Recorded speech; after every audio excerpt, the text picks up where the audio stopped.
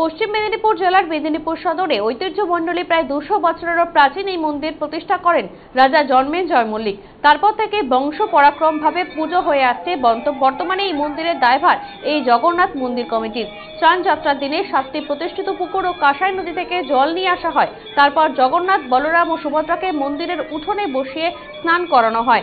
জলের সাথে মেশানো হয় মধু ও ঘি সহ আরও পুজোর উপকরণ দ্রব্য।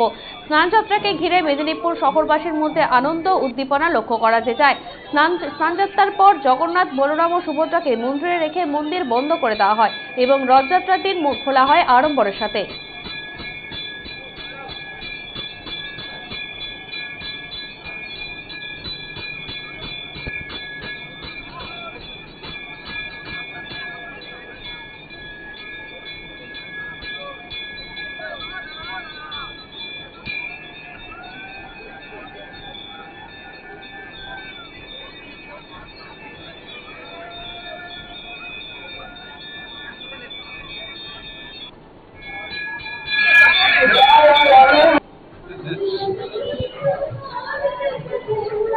হ্যাঁ নমস্কার।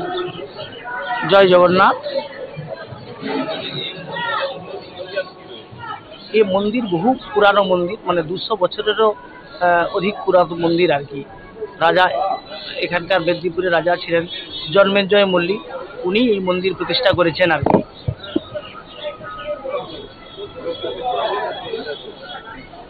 বলছেন? দুশো বছরেরও প্রাচীন। স্থানযাত্রা প্রতি বছরই হয়ে থাকে।